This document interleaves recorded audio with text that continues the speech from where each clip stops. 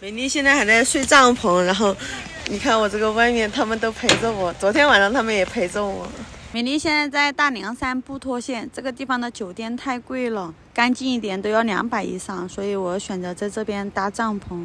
在大凉山，我觉得自己好穷啊，酒店已经住不起了。今天认识一个本地彝族的女孩子，十六岁就嫁到这里来了。然后男方是给女方三十万的彩礼，结果是电话费都不给他充，说没钱。你说三十万彩礼娶过来又不给他花钱，这样的婚姻是幸福还是不幸福呢？那你不知道抖音是什么东西啊？嗯，真的不知道。嗯。抖音就是一个软件，上面可以刷段子啊，搞笑的呀，看电视啊，然后别人很有才的生活那种，不可能吧？我我父母都玩抖音啊，你们都不玩抖音啊？你才二十二岁啊？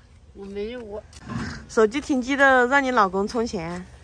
我老公不让我充，那个也不需要啊，你家里安上 WiFi 的话，也不需要流量的呀，也不用钱了。这里没有，上面有。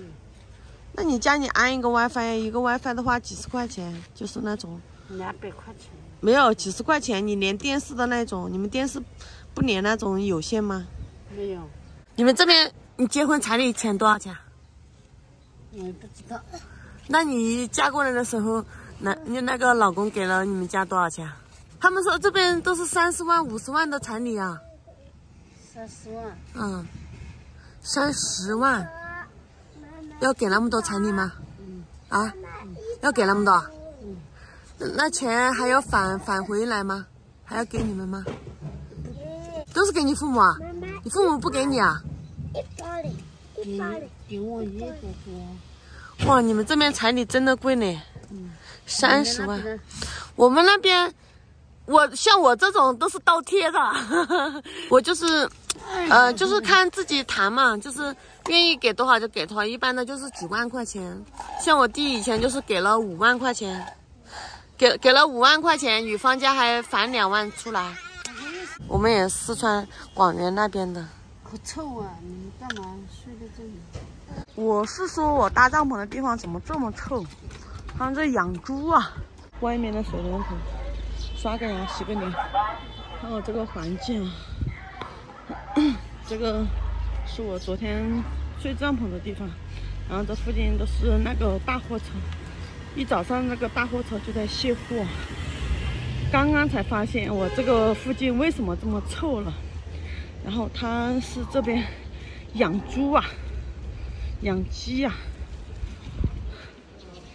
美丽今天睡帐篷，旁边有个彝族女孩一直跟着我聊天啊，我从她的口中了解到，哇。原来这里彩礼费真的是这么高，三十万，而且他们家家都是生六七个孩子，而且让我诧异的时候，他不知道自己年纪，他说他二十二岁，然后我说零零后吗？他说不是，是属羊的。我说属羊是哪年的？他说九三年的。啊，九三年也不止二十二岁啊，我怎么不知道多少岁了？然后我问他玩手机不？可以关注下我，然后他说。不玩手机，手机欠费了。我说欠费了可以让让你老公充啊。然后，嗯，他说他没钱，他老公也不给他充。我说你家里可以装个 WiFi，他说 WiFi 很贵，要两百多。天哪，WiFi 就几十块钱，感觉这里的人真的很落后啊。三十万娶了她，然后又没有文化，啊，至少他唯一比我优秀的就是。她要生六七个孩子，这个我做不到。